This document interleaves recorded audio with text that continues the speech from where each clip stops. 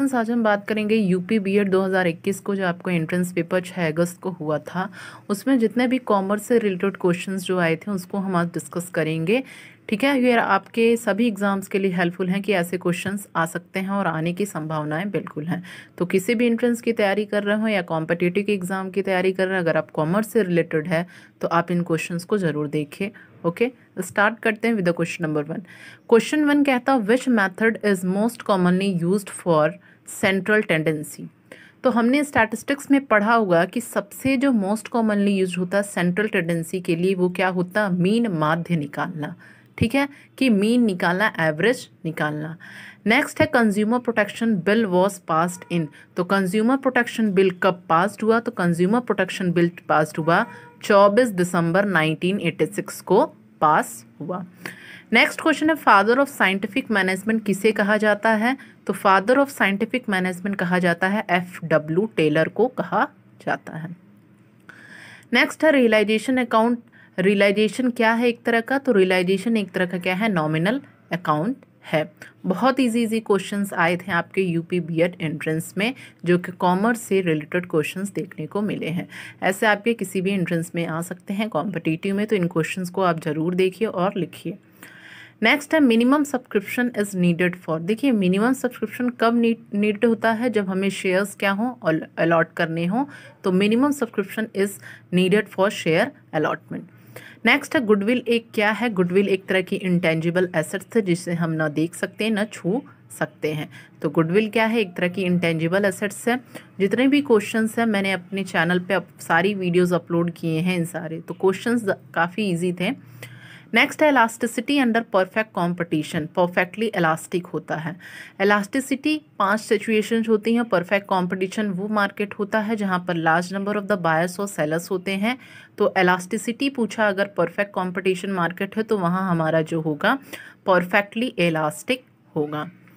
Next है break even point is a situation of अब BEP ये तो क्वेश्चन मैंने इतनी बार रिपीट कराया है कि बहुत, हर मतलब हर वीडियोस में मैंने ये ब्रेक इवन पॉइंट की डिस्कस की है।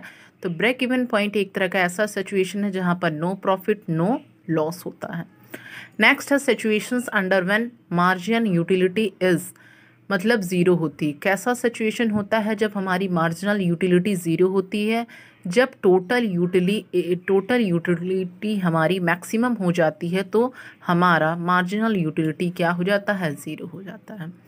नेक्स्ट है debentures, holders of the company call जो डिबेंचर होल्डर होते हैं कंपनी को, उसे हम क्या कहते हैं? तो उसे हम क्रेडिटर्स कहते हैं। National income is calculated by which method national income किससे कैलकुलेट करते हैं राष्ट्रीय आय? तीन मेथड से production method income method and expenditure method इसलिए ऑप्शन दिया था ऑल ऑफ़ दीज तो तीनों मेथड से हम राष्ट्रीय आय नेशनल इनकम को कैलकुलेट करते हैं। नेक्स्ट है which policy creates a deficit financing तो कौन सी पॉलिसी जो है डिफिसिट फाइनेंशिंग क्रिएट करती है तो वो होती है आपकी फ़िज़िकल पॉलिसी नेक्स्ट है अनफेवरेबल बैलेंस ऑफ़ ट्रेड का कब होता है?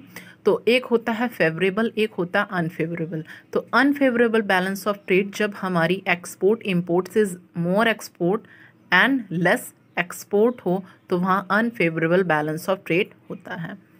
नेक्स्ट है एक्सेसिव डिमांड रिज़ल्ट इन अगर हमारी डिमांड ज़्यादा है तो उससे क्या होगा? हमारी एम्प्लॉयमेंट क्या है? बढ़ जाएगी इंक्रीज इन एम्प्लॉयमेंट नेक्स्ट है theory of effective demand theory of effective demand ये किसने दी है? तो ये नीज ने दी है। Next overdraft facility is which account तो ओवरड्राफ्ट की फैसिलिटी किस अकाउंट में? तो वो की जाती है तो करंट अकाउंट में की जाती है। लास्ट क्वेश्चन है ideal ratio of current ratio हमने रेशियो करंट रेशियो पढ़ा होगा, पहला ही रेशियो है तो आइडल रेशियो उसका कितना आता है? टू इस टू वन होता है।